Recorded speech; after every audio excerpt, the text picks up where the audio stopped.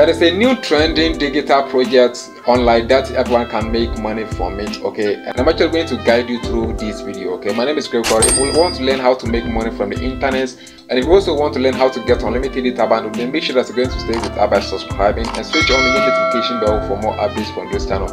Now let me take you through this video to teach you how you can get money from this project. I have four different tasks to perform here so i'm actually going to do all these tasks behind screen okay? I have performed three tasks okay? So now let me complete this one can see that it is loading and successfully completed. So you can see that i can withdraw 18 dollars after entering the amount of money i want to withdraw my address here my password here i can click on confirm here. And of course this money is going to be withdrawn into my binance account. You can see that it is processing. Okay so now let me go back to my binance account and check.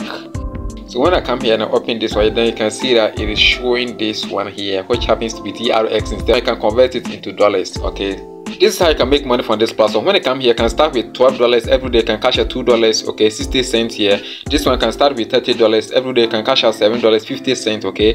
This one can start with 117 dollars every day can cash out 25 dollars 20 cents here okay. So we have multiple ones okay. Come and click on you know this section here and then you can get your referral link which happens to be the second way that you can use to make money. Use your referral link to refer other people and get some commission from this platform. So if you're interested i'm actually going to leave the link to this platform that you can use to create your account okay? But make sure that you're going to invest wisely so that you can earn something at last okay? Thank you so much for watching this video